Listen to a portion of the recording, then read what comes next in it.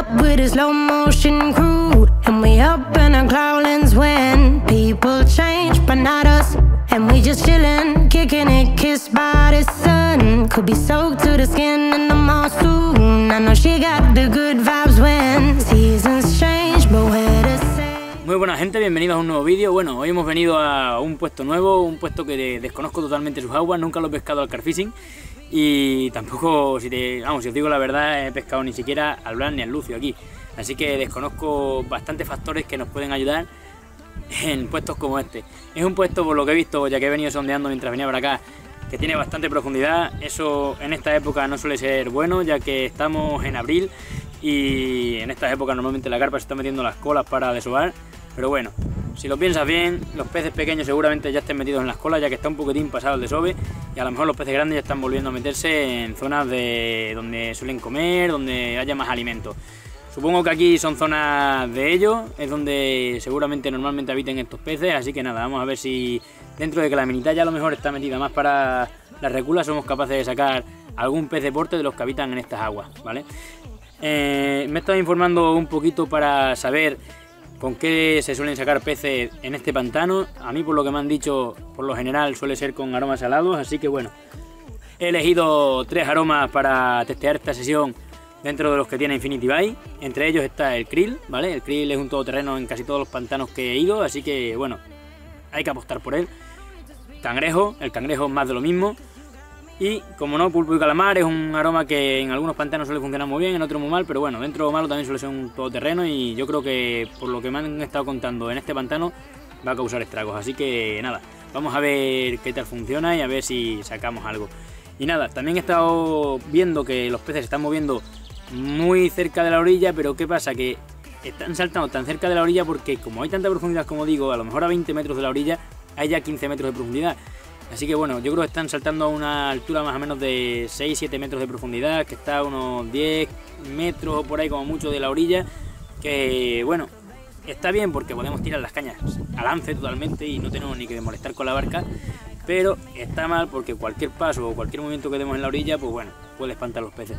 Pero bueno, vamos a intentar ser cautelosos, vamos a ver si somos capaces de dar con ellos y a ver si somos capaces de sacar algún pez por encima de la media de lo que suele tener este pantano. Vamos a ver qué tal se da la primera sesión en este pantano y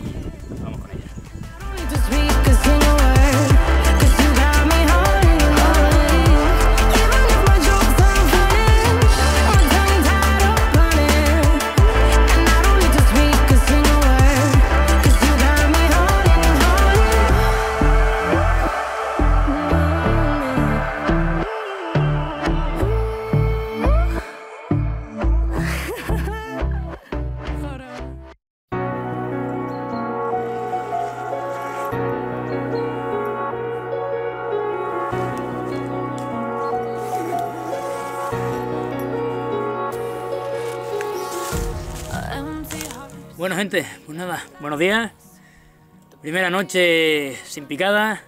La cosa está bastante parada, han sonado algún salto, como dije al principio de la sesión, cerca, pero no han comido. Creo que nos hemos confundido y hemos tirado las cañas un poquitín más lejos de la cuenta, dentro de que las estamos tirando muy cerca. Pero bueno, vamos a ver si cambiamos todas las posturas, las vamos a poner cerquita. Y nada, vamos a ver que estén bien todos los montajes, ya que bueno, el suelo tiene bastante piedra, creo que se nos puede haber despuntado algún anzuelo.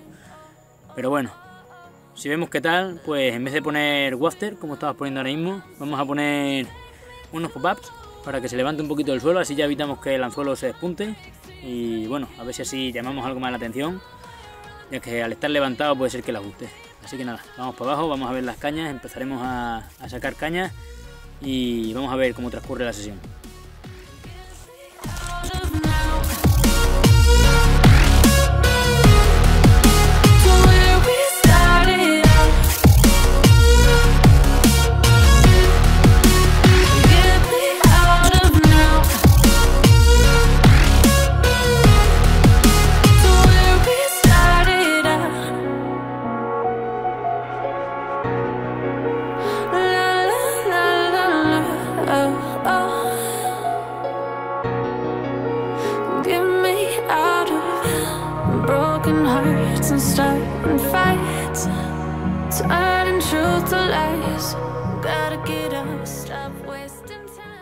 Bueno gente, pues nada, después de revisar las cañas he visto que algunos anzuelos, como decía, se han despuntado.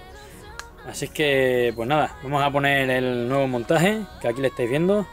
Va a ser una pequeña malla de PVA como la que estáis viendo, con bolis triturados y bueno, como no, un pop-up en color fluorescente. En este caso esto es pulpo y calamar. Así que, nada, vamos a ver cómo actúa en el agua, lo voy a enseñar. Y luego vamos a meter las posturas a ver si somos capaces de sacar algo.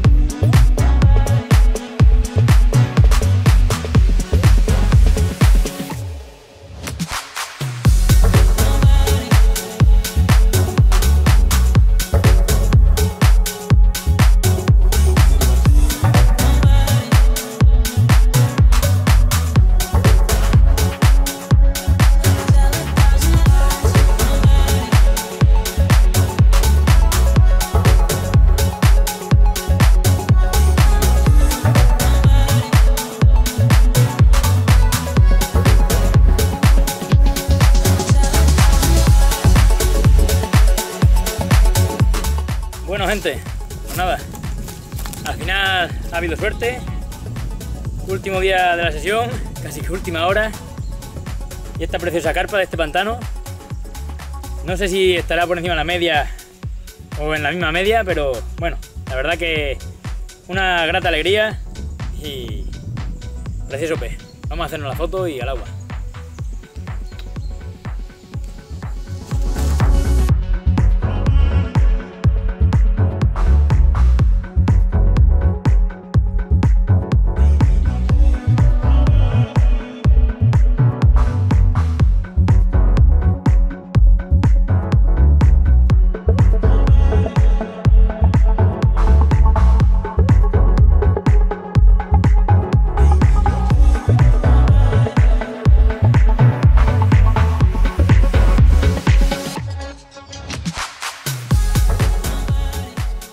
Pues nada, llega el fin de la sesión, ya hemos recogido todas las cosas, nos falta subirlo a la barca, así que nada, vamos a irnos ya para el pueblo y bueno, en resumen, al final solamente una carpita, pero algo por encima de la media de este pantano, por lo que yo creo.